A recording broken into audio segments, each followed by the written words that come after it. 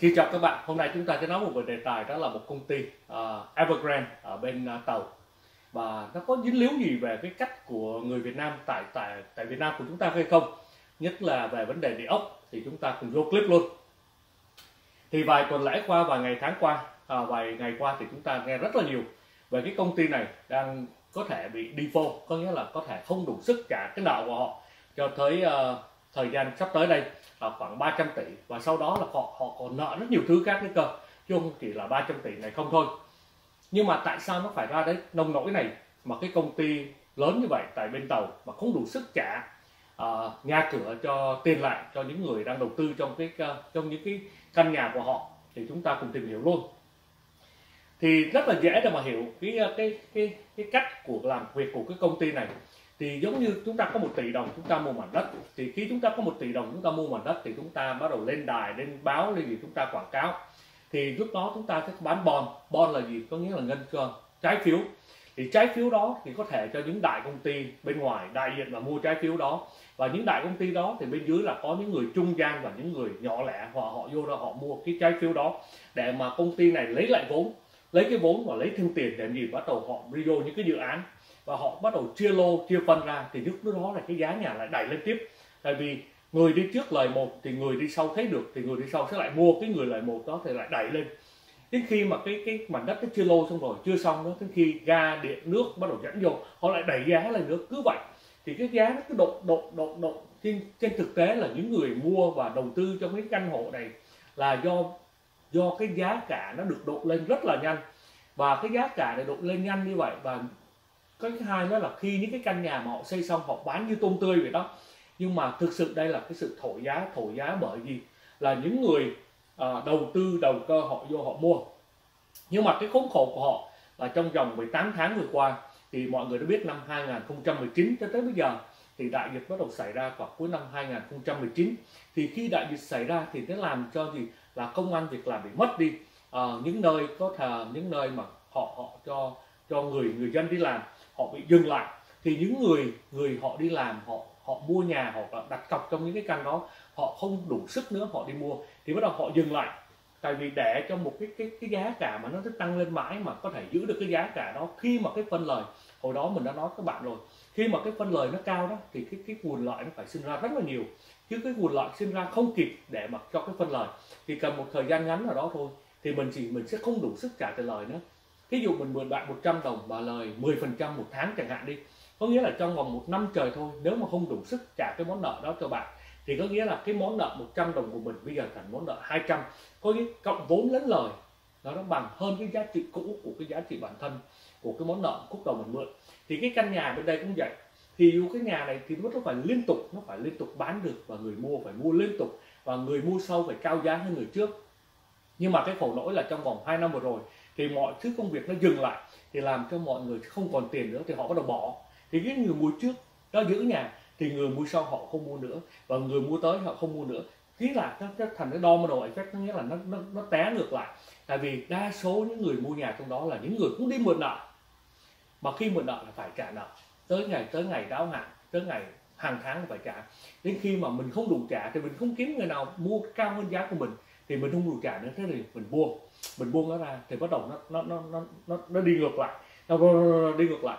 Thì tới lúc này đây thì đó là một cái sự thật vũ vàng bên tàu đang xảy ra. Đó là những người họ đầu cơ và bây giờ họ không đủ sức để trả tiền lời nữa. Và không đủ sức trả tiền lời nữa tại vì những người mua mua mới nữa họ không mua nữa. Lý do họ không mua tại vì tình hình kinh tế trên thế giới mọi thứ đều dừng lại. Công an việc làm dừng lại ờ, uh, kiềm đồng tiền kiếm ra khó khăn hơn. Vì vậy nên nó làm cho cái công ty này sớm muộn thì mình sẽ thấy nó, nó sẽ đổ ra và nó sẽ lòi ra rất là nhiều chuyện. Và nó có đi hơi giống như, như bên nước Việt Nam mình. Một chút xíu để các bạn cùng đi qua bên hướng Việt Nam một chút xíu để các bạn nghĩ coi coi nó có giống không ha. Tại Việt Nam mình thì giống như dự án rồi đó. Dự án có một người vô mua một cái dự án có nghĩa là chúng ta có một cái công ty nào đó mua một mảnh đất. Và cái mảnh đất đó khi vừa mua thôi là bắt đầu được thổi giá lên rồi. Khi được cái thổi giá lên là rất nhiều người bắt đầu đầu tư vô. Việt Nam mình không phải là uh, xin lỗi đầu cơ chứ không phải đầu tư. Người ta đầu cơ vô thì đầu tư lại khác. Đầu tư là rất tốt cho xã hội đầu tư là giúp xã hội càng ngày càng tiến triển. Còn đầu cơ là chỉ lấy bản lợi cho bản thân mình hoặc là lấy lợi nhóm cho một mớ người nào đó thôi chứ không mang lại lợi ích cho xã hội. Đến nước hàng hoàn toàn khác nhau. Đầu cơ rất tệ cho xã hội mà đầu tư thì rất tốt cho xã hội à, đa số những nước mà luật pháp không rõ ràng thì cái vấn đề xảy ra đầu cơ rất là nhiều. Luật pháp càng không rõ ràng thuế má càng đánh không đúng người đúng đúng việc thì cái đất nước đó cái sự đầu cơ nó rất là mạnh. Nhưng mà nếu luật pháp mà càng rõ ràng thuế má đánh đàng hoàng cho rõ ràng trên những sự việc mình mua mình bán thì nó sẽ giảm thiểu bớt được cái sự đầu cơ mà nó tăng lên cái đầu tư thì tại Việt Nam của mình khi các bạn hay nghe nói là đi, chúng ta đi đầu tư nhà đất, chúng ta đi mua đất, chúng ta đi mua nhà và chờ gì? Chờ nó lên giá rồi chúng ta bán. Chờ nó lên giá có nghĩa là gì? Là chờ người sau tới mua giá cao hơn người trước.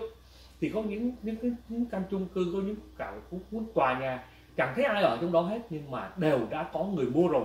Và những người cần mua thì lại không mua được, tại vì những người mua trước họ mua rồi và họ đẩy giá nó lên. Nhưng mà tại sao nó xảy ra vấn đề đó? Là khi chủ đầu tư họ mua miếng đất bọn họ họ, khi muốn đất họ nó đẩy giá nó lên rồi rồi bắt đầu họ chia lô ra, lại đẩy giá lên nữa. Lại con buôn cầu mồi, cầu đi đủ vô, hay là bu vô, hay là mọi người cùng đẩy giá nó lên. Và cứ khi mà đẩy giá nó lên thì người sau phải bắt buộc gì? Trả nhiều hơn người trước. Tại vì người sau không trả nhiều hơn người trước, thì người trước thì sẽ không bao giờ bán người sau, nhất nhất là những người đang đi trước là cái tiền họ đầu cơ vô những cái mảnh đất đó hoặc những cái căn chung cư đó là những đồng tiền họ đi mượn đấy cơ. Tại vì nhớ khi Việt Nam của chúng ta khi chúng ta có một khoản tiền chúng ta có một tỷ đồng đi chúng ta để cho vào nhà băng thì chúng ta lấy tiền lời thì một năm chúng ta có được ít nhất cũng được 7 8 phần trăm. Thì nếu một, một cái người đó lấy một cái đồng tiền đó mà họ đi mua vô một mảnh đất hoặc, hoặc, hoặc một cái căn nhà nào đó hoặc một căn chung cư nào đó thì cái phân lời của họ phải hơn 7 8 phần trăm, có thể là 10 15 20 phần trăm. Nhưng mà để lời được cái 15 20 phần trăm đó là cái người đi sau phải liên tục đi vô, phải liên tục đi vô mua. Nhưng mà cái khúc đi sau mà không liên tục đi vô mua là gì? Là chúng ta cái bị khất lại khất lại là những người gì? Là những người chưa kể, là những người nếu họ có tiền trong đó mà họ nằm chết trong đó lâu ngày mà họ không được lời thì họ sẽ bán ra, thì họ sẽ rời qua gì? Cái kênh ngân hàng để họ được lời bảy tám phần trăm. Còn những người mà mượn còn những người mà đi mượn tiền ngân hàng mà còn đầu cơ nữa cơ, thì những người đó đang chết chết dở, thì họ gì họ Việt Nam hay dùng từ gọi là cắt lỗ đó. Cắt lỗ là bỏ của trả lấy, chạy chạy lấy người. Bỏ của chạy lấy người là gì? Giống như chúng ta mua vô mua một cái căn 100 triệu đây chúng ta cho vô 40 triệu đồng. Thì cái 4 triệu 10 triệu đồng này của mình là cái tiền mình đi, là cổ vốn của mình còn 60 triệu là cái tiền mình đi mượn. Thì cái 60 triệu đó là mình phải trả trả tiền lời. Nhưng mà tới một mức độ nào đó thì cái tiền lời của 60 triệu này nó còn cao hơn là cái cái khúc của 40 triệu đồng. Thà mình bỏ nó 40 triệu đồng đó mình chạy ra ngoài luôn đi bỏ nó luôn. Thì còn nó ít hơn là cái tiền lời mà mình phải phải trả trên 60 triệu. Thì đó lý do sao có rất nhiều người bỏ của trả chạy lấy người là họ bỏ luôn cả cái vốn của họ. Tại vì cái tiền lời cái, cái khúc họ mượn nó nhiều hơn cái vốn họ, nếu họ bỏ mà họ mất. Thì cái đó là cái, có một cái mà chúng ta nhìn nó hơi giống nhau một chút xíu trong cái cách mà buôn bán nhà cửa, đầu tư rất tốt, đầu tư là giúp giúp mọi người có nơi ở, giúp mọi người có nơi sinh hoạt, giúp cuộc sống của con người càng ngày nó càng tiến bộ hơn. Nhưng mà khi đầu cơ đó, thì nó trì hãm trì hãm lại cái cuộc sống của xã hội. Nó trì hãm lại những cái nơi phát triển, cần được phát triển, mà nó chỉ làm lợi cá nhân và làm lợi một số nhóm người nào đó mà thôi. Nên vì vậy, đất nước nào càng nhiều đầu cơ, thì đất nước đó càng đi thụt lùi. Tuy rằng bên mặt ngoài của mình mình nhìn thấy nó đẹp lắm, thì thấy, ồ, nó giàu quá này kia. Nhưng mà đó là chỉ là thành phần cá nhân hoặc là một số nhỏ nào đó thôi. Còn đại đa số những người sống trong đất nước đó, mà cái đầu cơ nó càng nhiều thì những người dân nó càng khổ. Tại vì khi họ thực sự cần thiết mua những cái món hàng hoặc mua những nhà cửa đó, thì họ phải trả những cái giá cao hơn gấp nhiều lần. Và đáng nhẽ họ không phải trả, bởi vì những người đầu cơ bên ngoài đây. Nhưng mà để mà giảm thiểu được vấn đề từ đầu cơ bên ngoài đây, thì phải bắt buộc hai thứ trong đất nước đó phải làm được. Một là luật lệ phải rất là rõ ràng. Luật lệ càng rõ ràng thì những người đầu cơ họ sẽ bị gì? Họ sẽ bị chặn lại. Hai là thuế thuế đánh càng nặng hoặc là đang càng mạnh trên những người đầu cơ thì những người đầu cơ họ sẽ bớt lại. Tại vì và họ và nước xã hội đó, họ lấy cái thuế của đánh nặng trên những người đầu cơ đó để đẩy ra ngược lại cho những người thực sự cần thiết đi mua nhà, mua cửa. Thì những người cần thiết mua nhà, cửa đây được thì giống như bên đây dùng những từ là subsidize đó, là họ sẽ bớt được những cái khoản nợ hoặc là họ bớt được những cái phân lời. Giống như khi bên đây các bạn mua căn nhà các bạn ở đó thì phân lời nó thấp hơn các bạn mua căn nhà các bạn cho mướn các bạn để ý bên mỹ đi khi các bạn mua nhà ở thì luôn luôn thấp hơn cái phân lời các bạn mua nhà cho mướn và bảo hiểm nhà các bạn mua nhà cho bạn ở thì nó cứ luôn luôn nó rẻ hơn là cái bảo hiểm các bạn mua nhà cho mướn đó là lý do họ kim hãm lại cái phần phần đầu cơ và họ gì? Tăng lên cái phần uh, phần phần gì?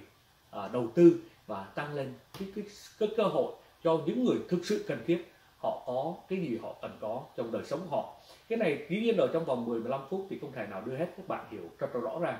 Nhưng đó là một trong những cái ý nho nhỏ để các bạn có thể nhìn ra một chút xíu là cái vấn đề đang xảy ra bên tàu.